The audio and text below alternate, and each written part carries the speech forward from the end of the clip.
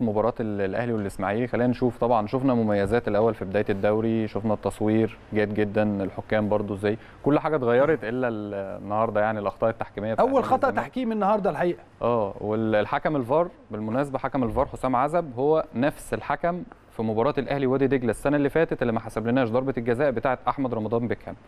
فاحنا بنعمل كده كشكول زي كل سنة وبنجمع الأخطاء التحكيمية السنة لا اللي فاتت ماشي خلينا بس عشان ما فيش وقت للكلام السنة اللي فاتت الأمر. كانت 15 نقطة السنة دي برضو في أول مباراة أهي يعني يعتبر ضربة جزاء غير صحيحة وبرضو في محمود علاء إحنا بنتكلم بشكل. عام على التحكيم مش عن مباراة بعينها إحنا بنتكلم بشكل